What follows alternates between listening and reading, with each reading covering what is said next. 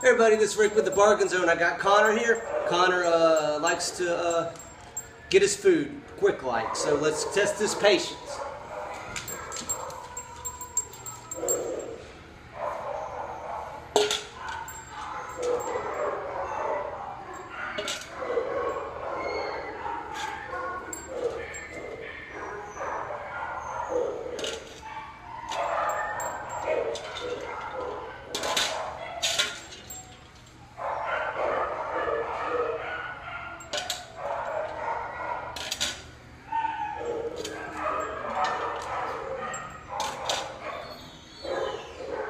Break. Break.